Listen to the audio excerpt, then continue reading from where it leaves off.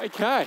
Well, uh, what's going to happen now is um, once again with a bit of spontaneity and a bit of a change of up in certain ways of being able to make the day flow. So forgive me as I start to rejig it a little bit. And Kwidjaan is a time when everything was one. When everything in the spirit country was not separated, everything was united.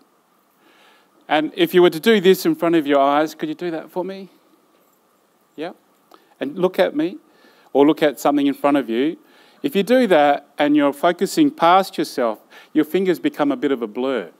And everything sort of just amalgamates together, and you sort of try and figure out what one is using your peripheral vision. But the actual thing is, is that everything's just flowing. And it's very hard to identify what is one thing. And that's what we call Kwidjaan. And we say a long time ago, we say Kora. But if we're going to go back to when everything was just completely and utterly one flowing, that's Kwidjaan. And this is now really what I'm going to do is actually step away from that. I'm going to go to another place, and that's you.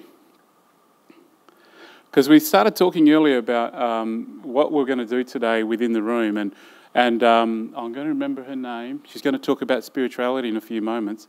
And I thought maybe when it comes to connecting to an old movement of spirituality, maybe I could do a more internal one. How does that sound? Yeah? Because in order to, for us to connect externally, we need to connect internally. Would that be fair?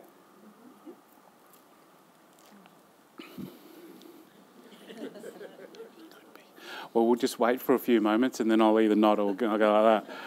Because what I'm going to actually do is talk about you. Everything about what I'm going to do in this moment is about how you connect to yourself. Someone taught you some things in life, and it was consciously or subconscious teaching, and all of a sudden you made it part of you, and you walk around, and everything that you do is energy. Remember, you're an energy, yes? Or am I not?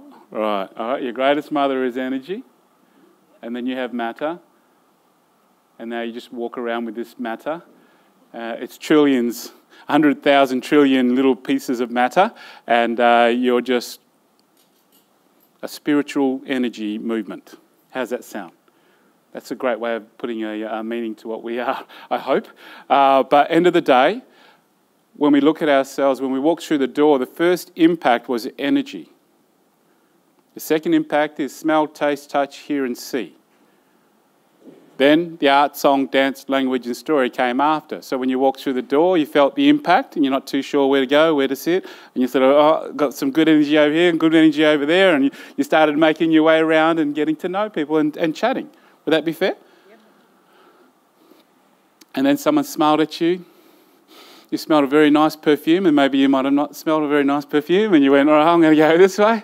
And then you went over and had some nice water, and you tasted some of the things on the table. There's your first sort of movement of impact. Hey, my brother. Uh, and then we go to the next stage where the art, song, dance, language, and story, all of a sudden you're starting to connect with people and you start talking about, hey, where, where are you from? Who's you, Melbourne? And the story starts to happen. And then in some ways we start to do a little dance. And we do a little bit of a song. And away we go. So it's really important how we, when we walk through a room or go into any area, how we communicate with things around us internally and externally. If we're shut down internally, how is it that we're going to be able to connect in a healthy way externally? Very difficult, yes? And, and some of our parents gave us, and some of our great history gave us some really harsh lessons. And they said to you, We love you and you need to know this. We love you and you need to do this in life we love you. It's a really tough world out there, and you need to be strong, so I'm going to teach you this. whatever that is, it's yours. You took it on and said, Thank you very much. Yep, we don't mix with those Chinese people because we're this people, and those people do those things, and we do those things, and that's what it is better if we just be this and then they be that. And those Africans and those Aboriginals and the English and Chinese and the, they're all we've all given them labels. And if you just stick to your culture, and you'll be strong and you can face anything. Would that be fair? Yeah, yeah, no, mm, yeah, good. See, the chair's starting to get a little bit uncomfortable. so here we go. This is called the wisdom in your life. This uh, wonderful lady came into my life, and I was trying to work out how to bring Aboriginal culture into my life in a really healthy way. I was going out onto culture and going with my uncle. He was saying, Nephew, you want to learn about Aboriginal culture? Yes, but why are you here? Uh, to learn. But what's your motivation? Um, well, I was told I was different, Uncle. I was told that we have this great culture. I was told that it was taken from us. I was told and I was told, and I'm here to figure out what that is. What is this great myth that we're supposed to be? Because I never grew up with it. No one taught me this, but yet everyone then identified me as I got older that I was different. So might as well come out and find out what that is, because I don't know what it is.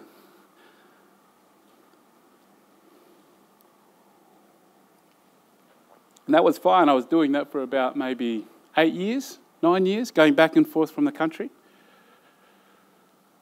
And as he started to give me some sort of a teaching, it wasn't really settling very well in my life because I was like going, well, what's the point?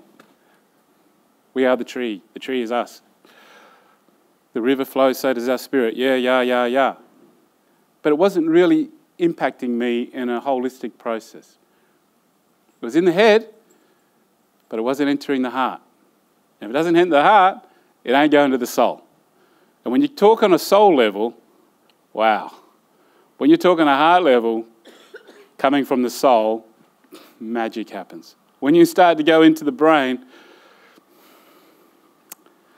that's where everything really makes sense. So, this wonderful map was presented to me by Rosalind Snyder while I was going through depression. I was looking at suicide as the way out because it was such a big turmoil trying to identify who I was and what it is that I was wanting in life and how I was wanting to help. Because all I really wanted to do was help people. But in the process of helping people, I found like I was actually depleting my life and I wasn't really filling my life, I was just giving. And there was no coming back. That's what it felt like to me. So all of a sudden, um, I said, Woe is me, life is hard, and I'm just going to quit. And this wonderful lady came into my life. I was going through a process, and she showed me this map. And it didn't, it didn't appear for a couple of years. It took me a while because subconsciously I knew that this woman gave me a sense of safety. Subconsciously, I knew that this woman had something that really played a beautiful place inside my soul, but I didn't quite ask, grasp through the thought. And as that started to rest my brain, my heart started to sort of come to a truth and then the soul answered, and then it appeared. So what happens is, is that up here, there's this little highway, relationship highway. What sort of uh, relationships do you have in your life? And please be free to just yell out what a relationship in your life is. Car? Children? Family? Cook? Cooking? Animals? Parents, work, nature, sport, culture, the list goes on. But let me tell you, every relationship in your life will change. No relationship stays the same. Some get stronger, some get weaker. Can you remember the first time you met your husband or your wife? I gather it'll be a little bit different from that moment then to what it is today. Would that be fair? Everyone's going, yeah, yeah, yeah, yeah. Yeah, yeah, yeah. He's talking my language.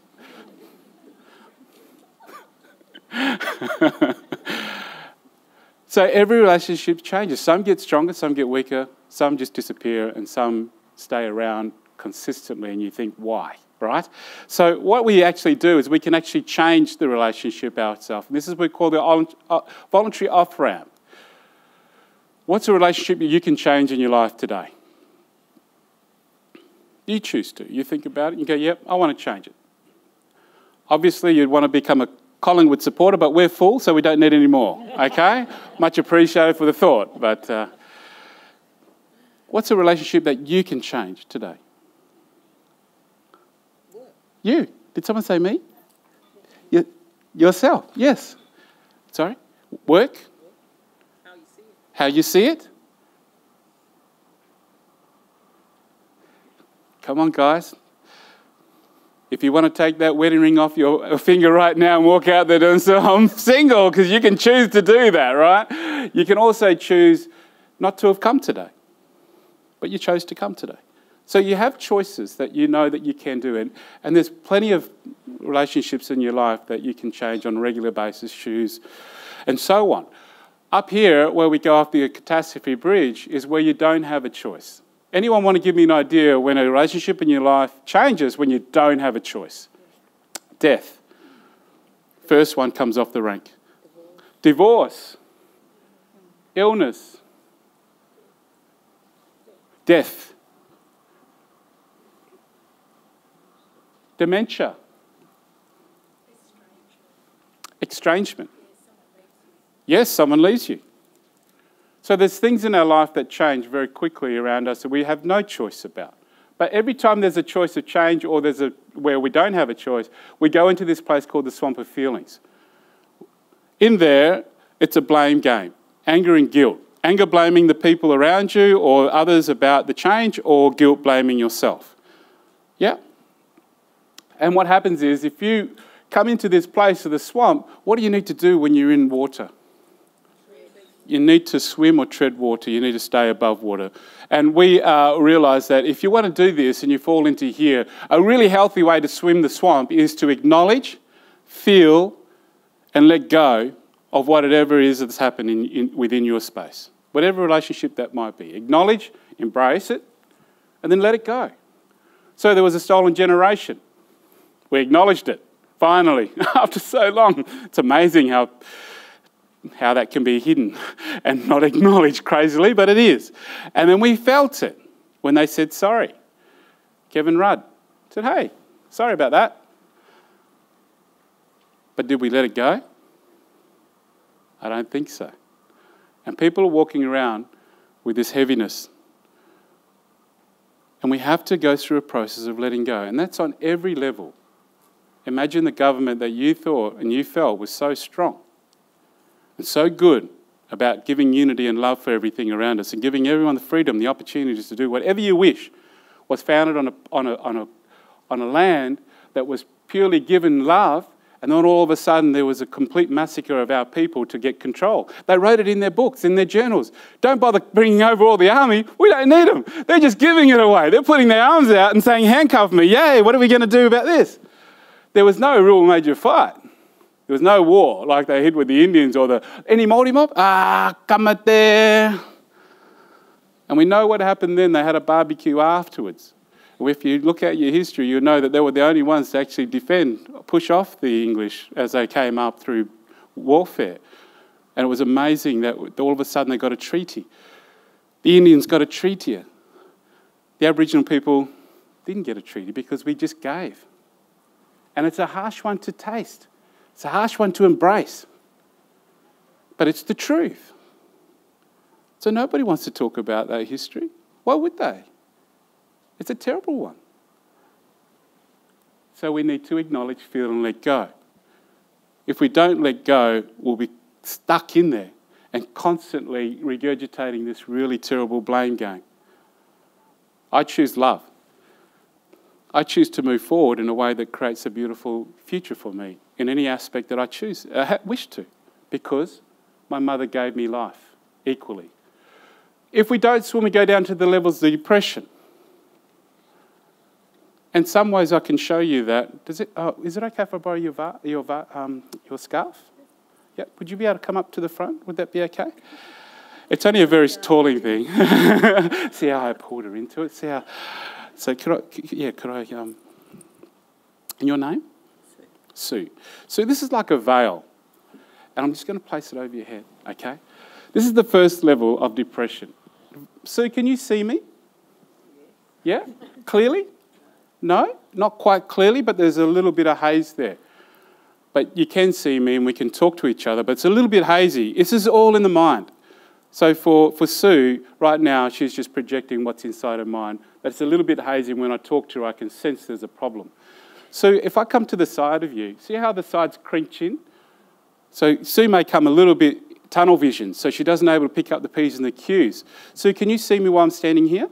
No. no but if I come here, can you see me? Mm, Just about. Just about. And if you see me, am I here? A little bit A little bit better. Until I get here, all of a sudden I seem a little bit more clearer. So for us, when we talk to Sue, we can diagnose her with a first level of depression or certain anxieties or maybe something like that. And what happens is Sue takes a cigarette and all of a sudden it comes up. It takes a little while to come down, but it does. What is Sue going to do? She's going to take another cigarette, isn't she? Yeah? So alcohol, having a wine or something like that, it just lifts it up and you feel like you can function and move. Thanks for that. Cheers, Sue. The next stage is when we put a bed sheet over your head. And when we put a bed sheet over your head, all of a sudden you're seeing figures, you're seeing light, you're, you can't really talk, you're mumbling, and everything's really becoming quite clear. You got issues, right? And they're not having just one cigarette, they're having five or six or eight in within moments, and that's coming down pretty quick. So most of us can diagnose very quickly that someone in this position has got some major issues going on. Not a problem. But when you have that cigarette, those cigarettes or that wine or whatever it might be bottle, it only goes to the to that one. The next one is when we put a, a, a black towel over your head, and straight away, isolation, suffocation. To try to talk to them, good luck. It's sleeping all day, hitting walls all day, and it's really quite tough to get them off the couch. We can diagnose them, not a problem. This is really quite easily. Have you ever seen someone at a party, someone you love and you care about, and they've just drank and drank about maybe 10 or, or four drinks of beer, and they're saying, Give me the keys, I can drive. Because you're only going to go to the bed sheet. And they think they're functioning. And they're going, Yeah, man, the more I drink, the better I get. I can tell you that right now. And you're saying, There's no way we're going to give you the keys. It's really, really bad. But they're not able to give you any clear idea about what to do forward. They just have this sense of that they can control. Drugs, when they're on antidepressants, they actually, unfortunately, just do the same thing. They mask it, and all of a sudden, that pain or whatever it is, or that relationship that's ever changed in your life, unfortunately, is still there. So often you'll see that people on antidepressants, they'll take them and then they'll go, I feel great.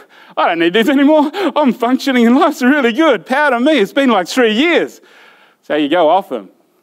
And then it just, well, I thought I was doing all right.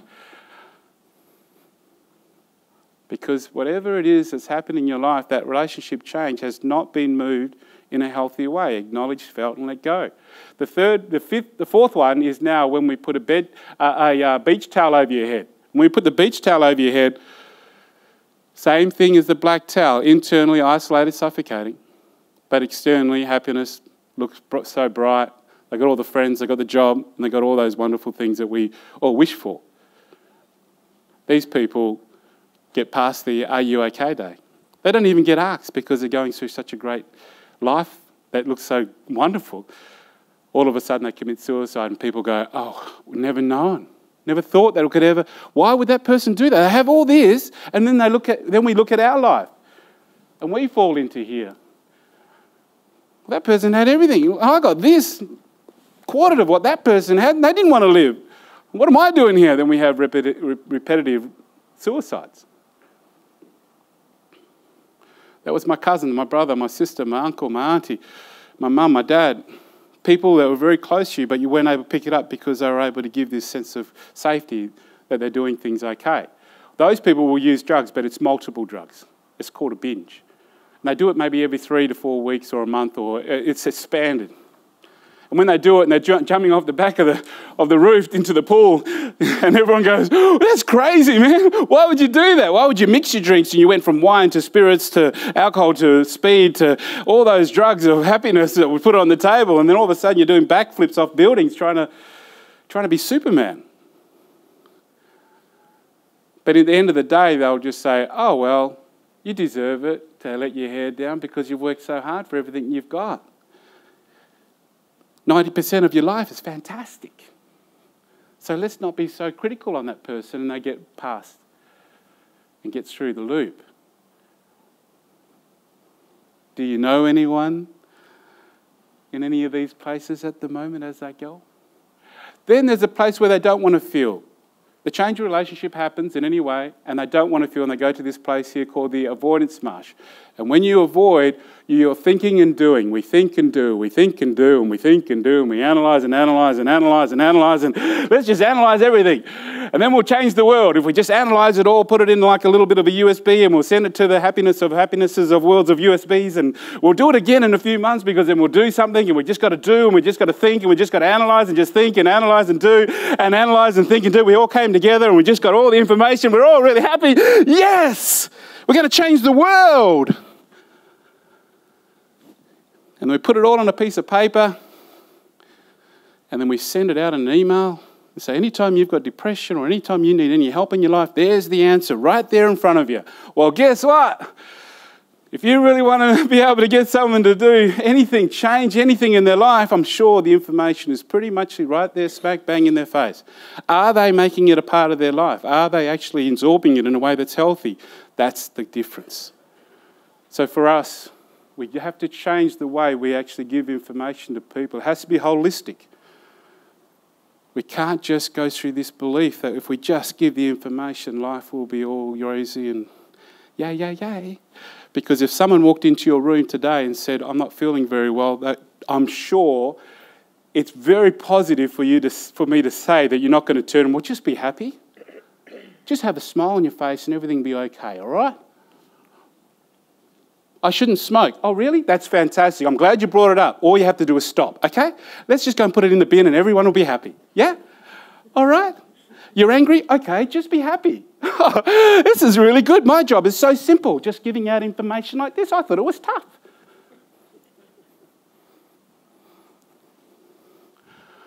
Thinkers and doers, emotional people swamped with the feelings. People over here, they're in the desert where they disconnect completely from themselves and externally. And they just want to do.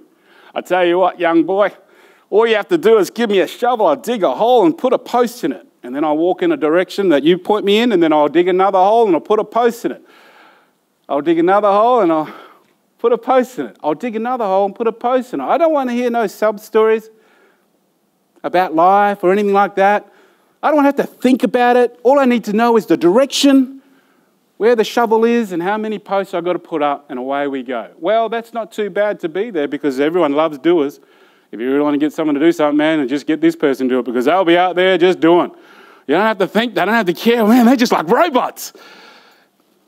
And somewhere in our life, unfortunately, the scientists are finding ways, believe it or not, this is so true, they're trying to take emotion away from you. So that way you can just function in doing. Isn't that just, just is, really, is there any boundaries? There is none, really, is there?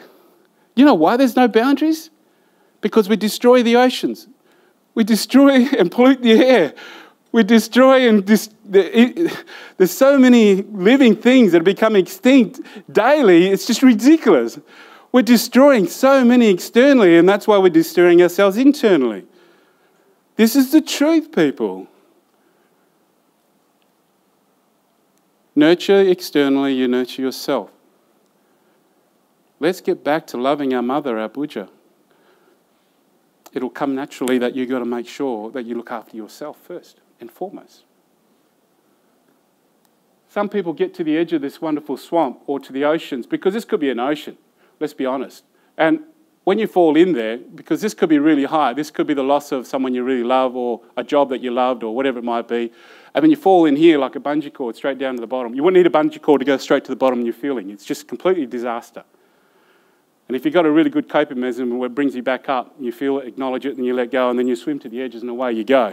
But some people swim to the edge and they get stuck in the mud. When they get stuck in the mud, they're not sinking. And they go, oh, well, I'm not drowning. I feel pretty safe here. I must just stay here. And they're angry and they're sad. Do you know many people that sit back and just start screaming all the answers to the world. You got to do this, you got to do that, and blah, blah, blah. Okay? And other people at the back, it's just too hard. I want to go fishing. I want to go to the movies. I want to go with the kids to the park, but I just can't do it. I just want to stay here. And people come into the person, uh, is it, would, would, Jason, would you be happy to stand up with me? We'll do it up here, mate. So here's Jason. Jason's stuck in the mud. So could you cross your legs for me, Jason? There we go. So, Jason, you're stuck in the mud. You're angry, you're screaming, you're crying all day. It's just the way it is. And Jason, I see a lot in you, so I'm going to come across as a friend and go, Jason, you've got a lot to offer in life, mate. And this is not really good that you're sitting down and just doing nothing. How does it feel that I'm this close, Jason? Intimidating. Intimidating because he can't move back because he's stuck. So what do you want to do? You actually try to lean backwards, or you give me, you want space, so you push me away. Push me. I go, man, I just came over. You don't see too many people knocking you down and coming to talk to you. I committed to you to sh- say what you're actually good at, and you're just going to push me away. Oh, well, t- to hell with you, Jason. See you later.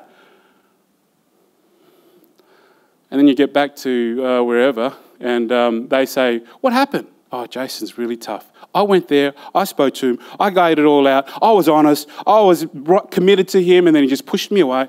Game over. Well, what we should do is offer Jason a place at this wonderful function that's coming up. We're a great organisation, so let's put on a great food, let's put on a really big fair, and we'll get all the elders and communities we're talking about, Aboriginal mob, whatever, and uh, we'll get him to come. So, Jason, how you going, mate? Thanks.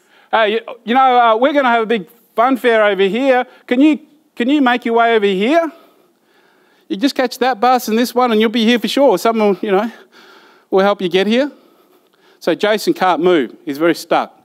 And if he does try to move, he's going to be very, very tired. And you get to the front door and he just walks out and goes, yeah, right, and back to the lounge.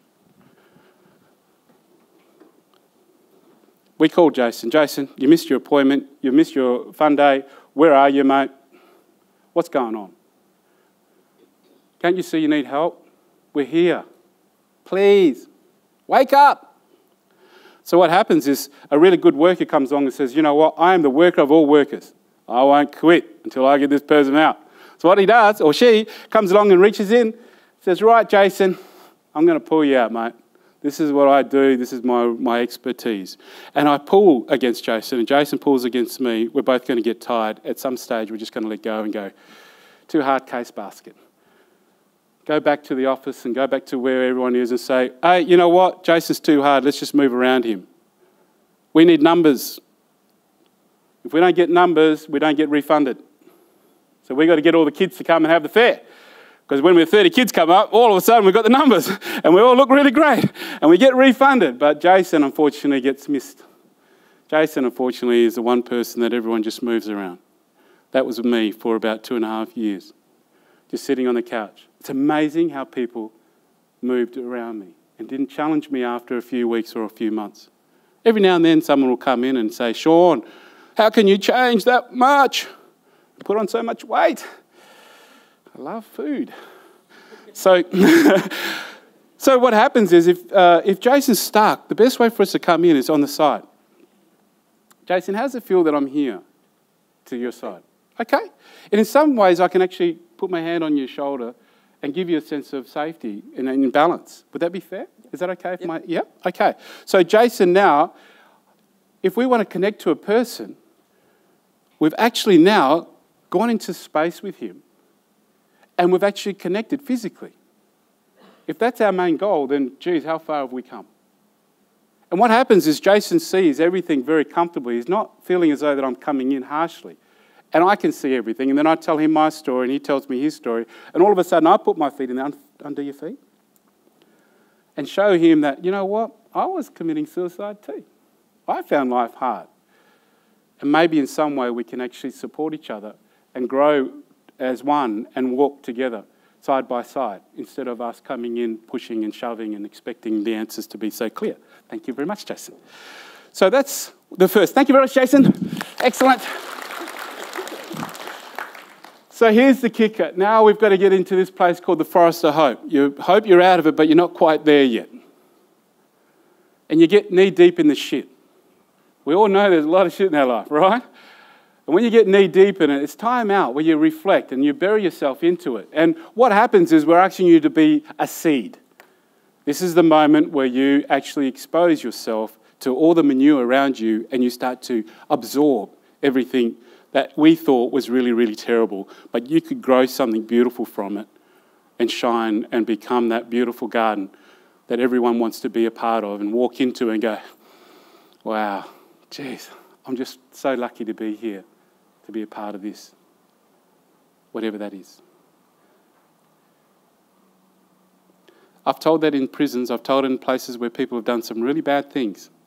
And I can tell you, this murderer stood up and looked at me and he says, Shaun, I went, I hope this is good.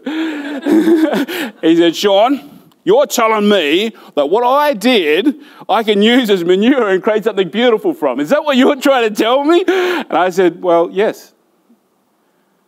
You're off your head, Shaun. You do know I murdered people. I said, Yeah, I know. You've told us. Imagine what you can do while you're in here because you're coming out of here in a body bag. Imagine what you could do to change those guys' lives that are out that door, or any one of these guys in here that are close to following your footsteps. Imagine if I, we are able to empower you to utilize that in a way that actually grows something beautiful. People will not give up on love and hope. He cried his eyes out. He said, Please teach me, Shaun. Can you teach me this? And then another person who's going out a body bag says, I want to do it as well. And then another one, and another one. A maximum security prison. They had hope. And I guarantee you, without shadow of a doubt, I'm hoping that it just gave you hope. That no matter where you are in your life, you have an opportunity you just have to become a seed where you break down your outer shells that you believe are so tough. Your environment needs to be right. And that's where the key is. That sh- that sh- the, the, sh- the seed will not allow itself to become exposed until the temperature, the water, the nutrients, everything around it is there and available. As soon as it opens up, the internal part that's very soft, love, then all of a sudden absorbs everything around it and all of a sudden it's got a chance at life. And from there, it'll never, ever be the same again. You will never be the same again. You will grow and learn and love. It's going to get rocky when you go up into this rocky path because you need the people around you. Imagine the people that are around you now that need your support. Instead of you going to their door knocking and saying, You need help, you need to do this, you need to do that, da da da da. Imagine if they were able to go through this process and actually have internal love for themselves and turn around and go, Hello, your name? Vanessa, uh, I know we've got an appointment tomorrow, but I need you today. Is it possible for me to come and see you now? Because, you know, and we keep that appointment tomorrow because I really got a motivating process that I need to get you on because I can see the future is looking so damn great. I just need to be around you to get to where I need to go to, and that's up here in the Seymour Mountains. And when you're up there and you've had people support you, lift you up, or pull you up, or even side by side, whatever it is, encouraging you in a healthy way, you see these relationships you never ever thought you could ever have. Because you're up so high, you can see all the things that are going to get in the way and the obstacles that are going to be a bit tough. But does that stop you? No. Because you put a plan together, inside and externally. And once you commit to your plan, these guys who committed murder all of a sudden realize that they could have relationships with themselves and externally in a healthy way. Maybe not able to change the, the status that they gave others, but there's an opportunity there for you to utilize it in a way to help nurture others and grow from. Then you come back around here and you wait for it to change because every relationship in your life will change. You just got to be prepared for it. I'm going to be in these places every day. I'm going to avoid something. I'm going to feel things.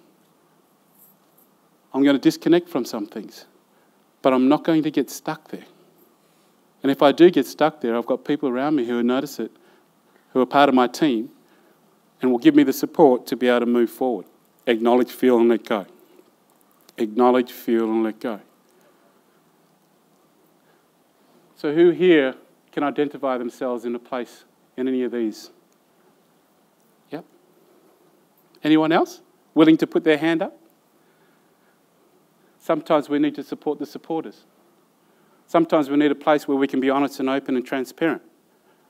when we do this workshop, we take people through every part of the map. We get you to feel it, acknowledge it, and see how it is within your life. And then you have an honest conversation with yourself. And we also support that energy around you. Once you're able to give yourself a sense of truth and take ownership of yourself, then the rest that we do with you will be about unifying, not about us dragging you along or forcing anything upon you. Because when you go through this, you go to the next one, which is the uh, compass, and it's about understanding your true core. Every person is born with your own personal core, and we've got ways to be able to acknowledge that. And as you go into that space, that's when you really start to look at everyone around you in a different light. I can tell you, you don't always just see them as being in these, these three places. You look at them as a complete and utter being of love. So, any questions? We've only got a couple of minutes left. Anybody?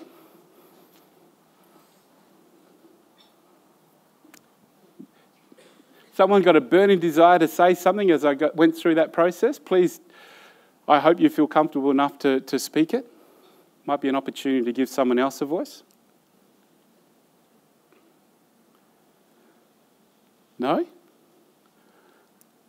Great. If I've created a very big impact in your moment, then I've made a difference. If I'd gone up here and given you information, you walked out the door feeling, hey, yes, yeah, Shaun made us feel really, really good, then you, that energy will only last for so long. But when I shift your chair and I go deep down into that soul place and get past your, your thoughts and, and your, your heart and talk a bit of truth, all of a sudden greatness can be done. Don't feel alone. Get in contact with us, wisdom in your life, or anyone around you who you feel as though you can go and talk to after this process.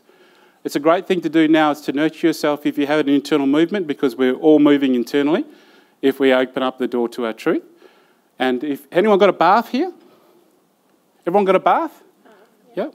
Okay, if you got a bath tonight, go home, put 10 minutes, maybe two songs or three, slap it on the door, time out, and whoever knocks on the door tries to kick it in, do not answer, turn the music up a little bit louder, but have a nice warm bath. Because subconsciously, as you go through this process, or, or even though you may think you weren't going through it, something is jumping out at you internally. And we hope that you nurture that and just allow it to settle. And going and have a nice warm bath where you just have that moment to be able to go back to your mother's womb. Remember when you're in your mother's womb?